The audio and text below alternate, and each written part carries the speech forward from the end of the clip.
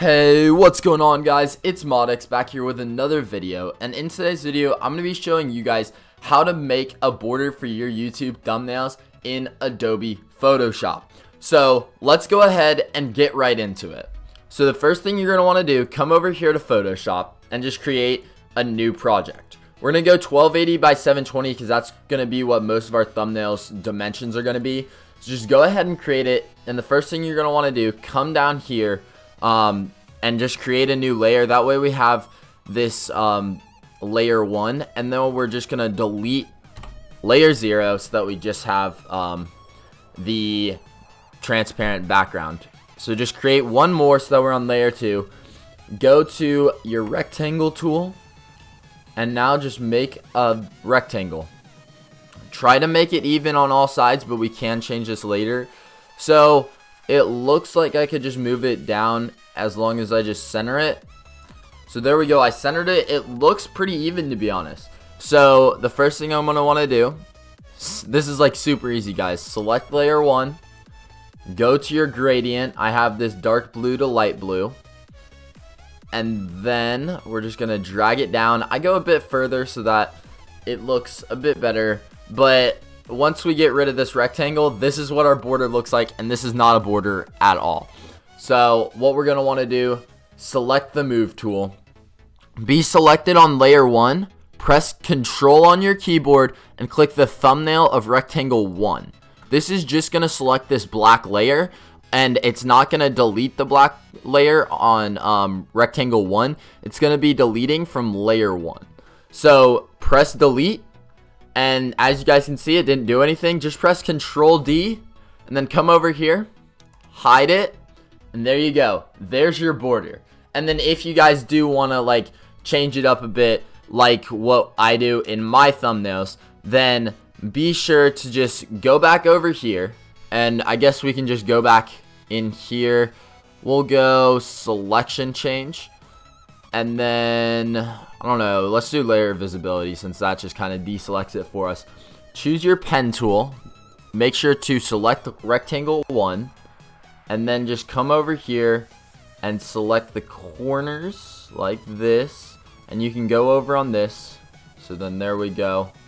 Um select that just press delete. Um yep that's good. Or why did that not work?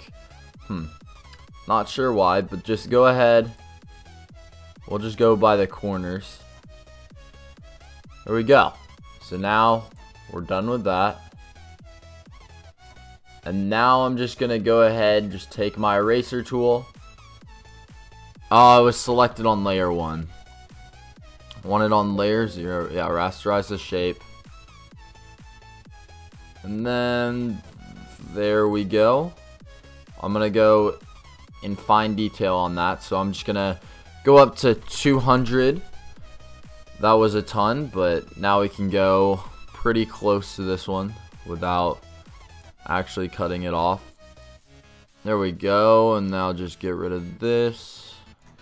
I'm going to make my brush a bit smaller. There we go, now, there we go.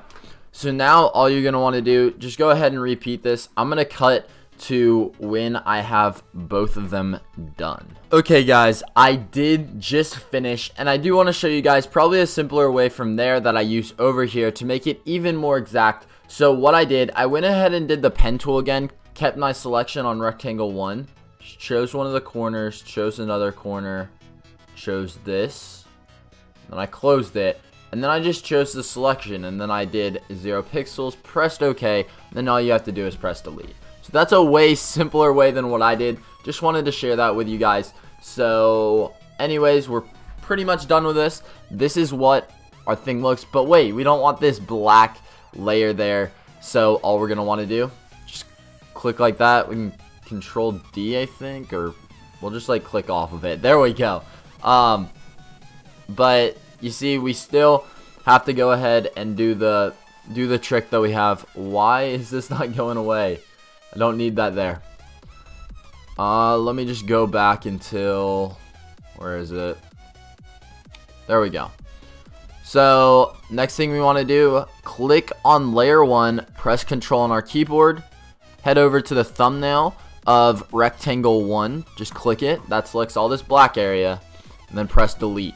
So as you can see, it didn't change anything on our normal image, and that's because all we have to do, just hide the black uh, rectangle, and we got our border for our thumbnail. So I hope you guys did enjoy this video. If you did find this helpful, be sure to give it a thumbs up because I am trying to grow this channel and also be sure to subscribe for even more um, online technology tips. So that's going to wrap it up.